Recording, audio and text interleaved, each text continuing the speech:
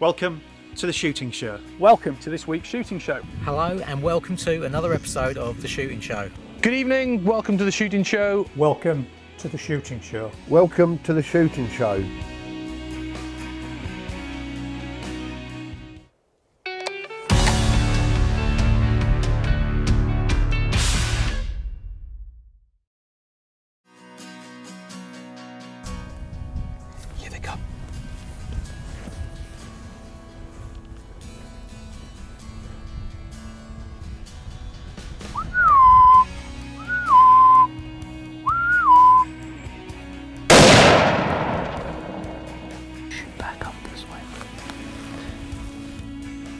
Nearly halfway through the allotted time, it's still Darrell 7, Byron nil.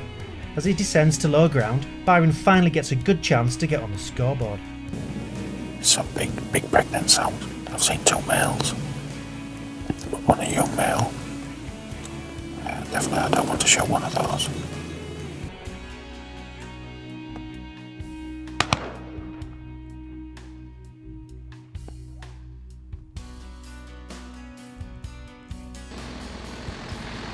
The reason why we want to take out these younger buffalo bulls is due to the fact that we want the gene pool to be preserved within the buffaloes with the hard bosses.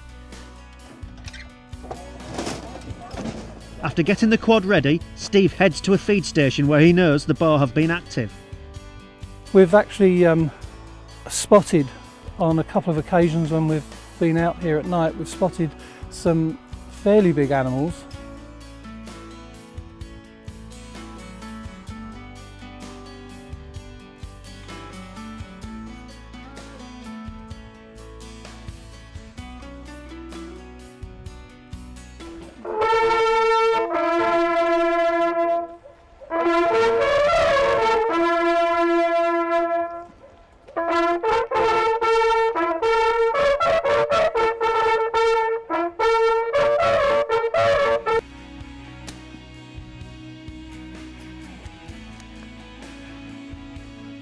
Darrell heads off to a different part of the farm and quickly spots an opportunity to put his 2-2 rimfire to the test, shooting three conies in quick succession.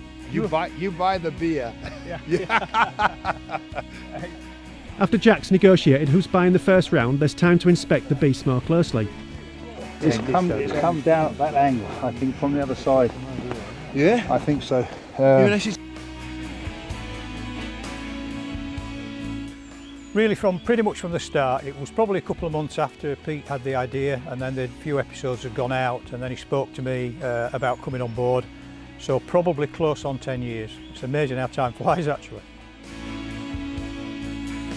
I think a general improvement in quality is what I would have to say and that's basically because a lot of us were, were not familiar with doing this sort of thing before so we made quite a lot of mistakes along the way. So I feel there's just a gradual progression and improvement of the quality of material and the content that we're putting out. A lot of great memories, hard to pick out one. I think probably the one thing, the one memory that stays with me are the mistakes we've made um, and still make, but I can remember one of the early episodes was trying to film actually with Dean, bless his cotton socks. Um, really, really good, really good stock, cracking footage, everything on camera, would have made a real nice package, only to realise for the whole time and the whole morning, when Dean thought, Dean thought he was filming, he was off, and when he thought he was off, he was on. So the whole footage was basically the scene of the floor as Dean was carrying a camera around. So that was quite good. But generally, it's the it's the fun we have and the, the cock-ups. That's what I enjoy most. Again, there's been a lot of these. We've had some, some, some great times filming. Uh, I particularly remember one of the early episodes we made with Byron and his, his girlfriend uh, Beth, and we were filming um, Roebuck. She'd never seen a Roebuck rutting. I don't think she'd shot a Roebuck at that point. She'd never seen Roebuck um, at kids and young. Uh, we filmed it in late July, early August, um, and got a rutting Roebuck coming up, the in, nice stalk coming up to us all bracken and brushing its antlers, a four-point buck as I recall, and a, and a perfect shot, and it went down. I think I, just the whole afternoon filming that, stunning scenery, um, that is memorable for me. So that's probably the one that stands out.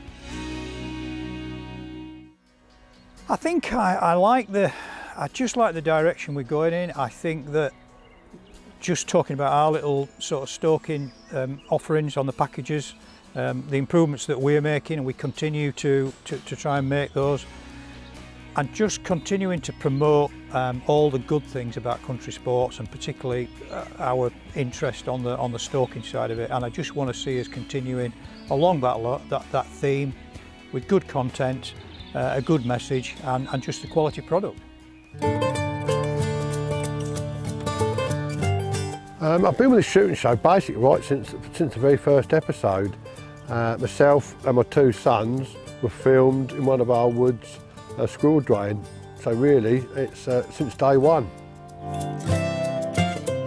Yeah, it's had a, had a great impact actually. I've enjoyed, you know, I've enjoyed working with the crew. I've enjoyed, you know, I, you know, get put in the limelight if you like, uh, and I've enjoyed meeting people, lots of different people up and down the country.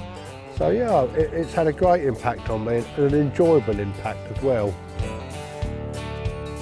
Well, I think really I think it's the technology. Um, you know, um, from when we first started to where we are now, the technology in the cameras, uh, the equipment, the recording, um, like the shot cam for instance, you know, a camera now that sits underneath the barrel of your gun to give you absolutely clear uh, photography out there in the field. Um, and also, the, you know, a lot more of the equipment, the gun, cartridges, uh, the clothing, you know, everything has really has changed in the last 10 years since the first episode. Um, one of the favourite memories, I mean there's quite a few, but one of the ones that sticks out in my mind was um, Browning had sent me up a, a, a Mark 1 Maxus combo gun and I received it the very morning um, that we were filming, put it together in my, in uh, front room and then took it out for the day and shot a 200 plus bag for pigeons. You know, that, that was the first one that I shot on show. So yeah, that's uh, got to be one of the best memories of the shooting show. I think one of the ones I got really got enjoyment out of was uh, when uh, I met Pete Carr and John Pyle uh, up in Lincolnshire. We then went to the ferry port on the Humber sailed across, drove to Germany, and basically we had a, an evening from high seats after Boar, which uh, didn't materialise into anything. But the one memory of that particular evening was actually not realising that we were so close to a pen of wild wolves or wolves and their howling sent shivers up your spine. Um, and then the following day we went out, stalked a boar, I shot it, uh, and then we came home. You know, that was a great weekend, great memories, met some wonderful people in Germany. So to me, that's got to be one of the best episodes for me, for memory-wise. Well, I'm hopefully looking forward to working, uh, you know, uh, working on the shooting show.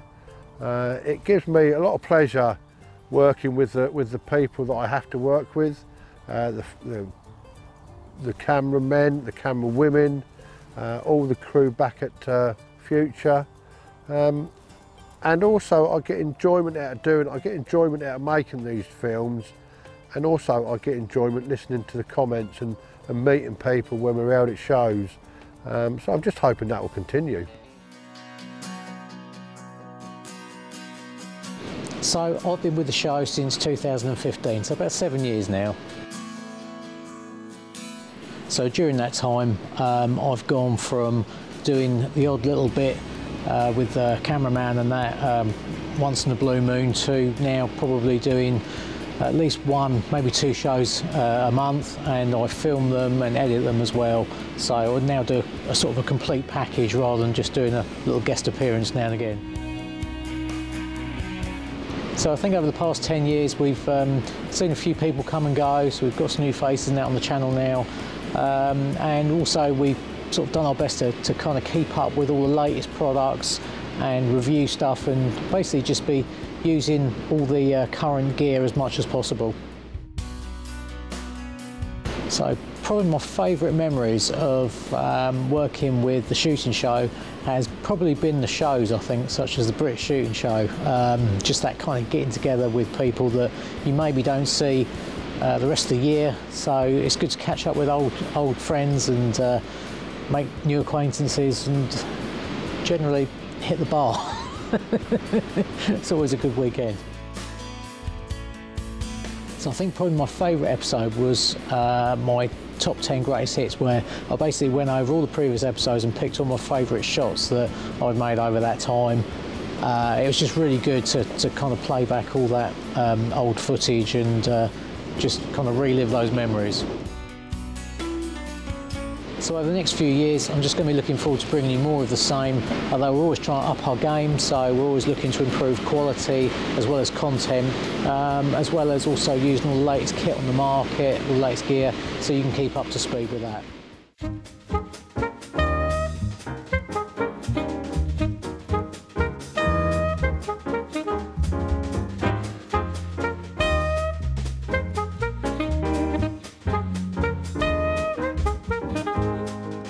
Not built for TV or being in front of a camera.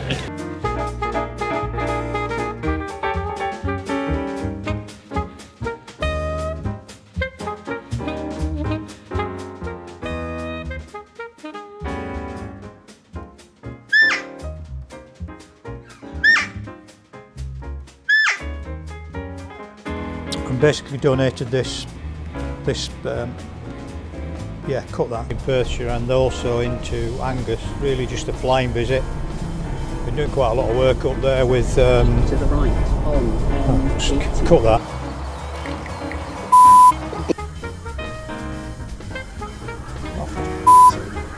Take two. Come on, Bear Grylls.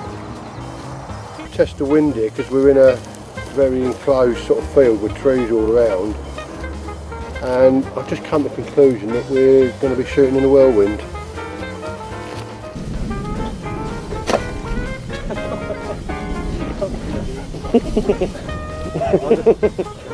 We're here. You can come on. They can have a few shots for free on, uh, all supported by Browning.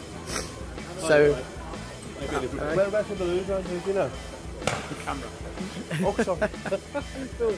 Down there, turn left, down the hill, turn right. Not a Bantam, is it? It's Commander. Shot capacity will be reduced, but you should still get great consistency. I forgot the next bit. It's very well engineered and really robust. When you can... Oh, it.